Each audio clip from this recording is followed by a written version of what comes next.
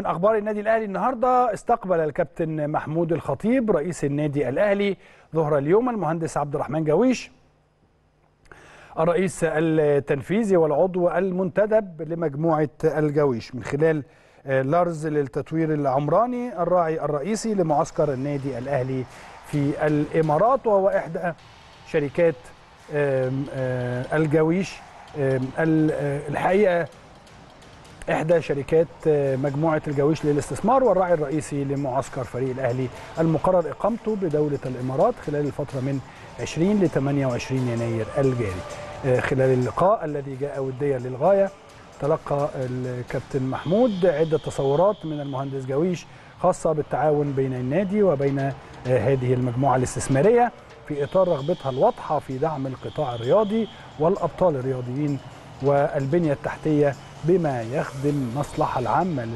للرياضة المصرية. وقامت شركة 6 ياردز للتسويق الرياضي وإدارة الفعاليات والمنظمة للمعسكر بدور كبير في فتح أطر التعاون بين النادي ومجموعة الجويش للاستثمار. خاصة وأن شركة 6 ياردز كانت لها تجارب عديدة ناجحة مع النادي الأهلي. وسبق أن قامت بتنفيذ معسكر النادي الأهلي في النمسا مع بداية الموسم الحالي بنجاح كبير.